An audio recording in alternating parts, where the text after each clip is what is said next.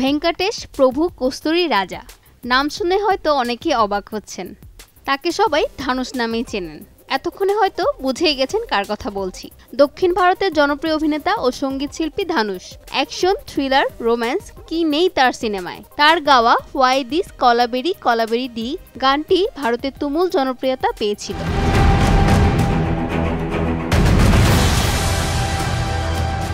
তবে সবকিছু ছাপিয়ে এবার হলিউডের সিনেমায় পা রাখলেন এই অভিনেতা।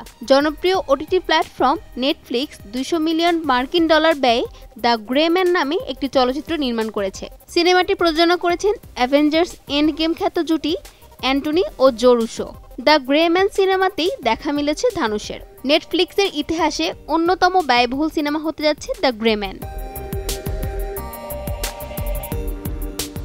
এরই মধ্যে সিনেমাটির অফিসিয়াল ট্রেলার প্রকাশিত হয়েছে, আর সেখানেই এক ঝলক দেখা মিলেছে এই দক্ষিণী তারকার। ধানুষ ছাড়াও এ ছবিতে আরও অভিনয় করছেন জেসিকা হেনউইক, ক্রিস ইভান্স ও রায়ান গসলিংদের মতো বড় বড় তারকারা।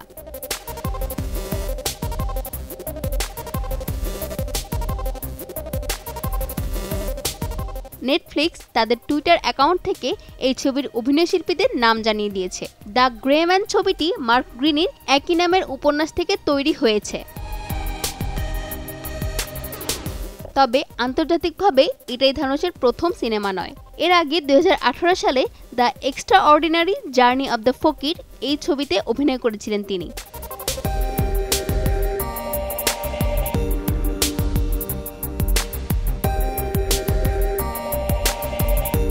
ফাতেমা সময় সংবাদ।